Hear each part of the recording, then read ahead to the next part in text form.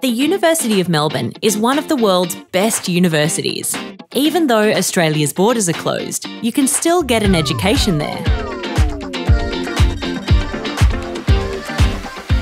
The Trinity College Foundation Studies program moved to online learning in 2020. When you enrol in Trinity College's Foundation Studies, you'll have a weekly lecture and a weekly tutorial for each subject lectures are recorded and viewed at a time that is convenient to you. Tutorials are conducted live online, so you have access and exposure to the tutors and other students. You'll also get to participate in some fun social events online. They're a great way to meet other students around the world.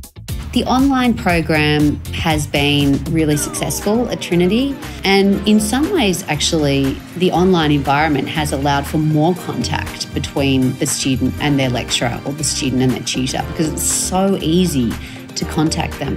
We're working really hard to make it as social as possible and as varied as possible, and to keep our assessments of a really high quality and maintain academic integrity, all of which we've been doing.